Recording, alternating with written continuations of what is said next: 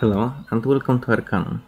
Today I will try to explain you technique of magic boosting.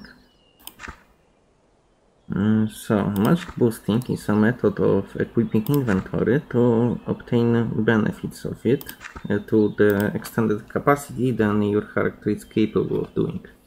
So your magic aptitude determines strength of magical items. My magic aptitude is 25.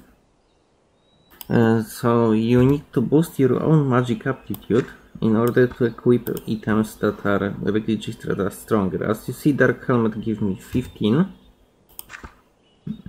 which increase aptitude on average uh, for like 10% for items that matter.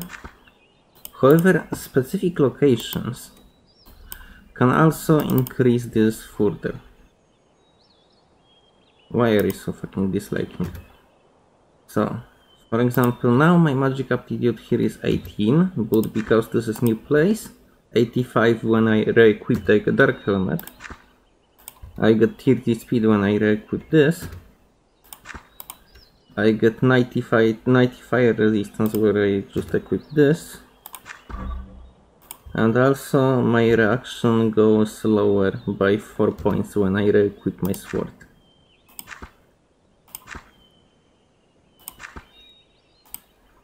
Now, when I go out of this place, my speed still remain 30, my fire resistance... Oh, fire resistance is lowered right now, what the fuck.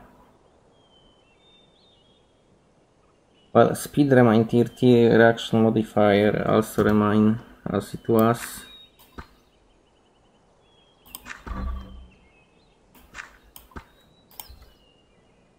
Yeah, if you if you have such modifications, fire resistance now even more lowered because Dark Helmet is weaker. There is a lot of play with that. Apparently armor dynamically adapts to your magic aptitude. Only because I don't have proper magic powers to boost it. But it was 12 charisma all this time, so I could like keep my 12 charisma and use it as 12 charisma.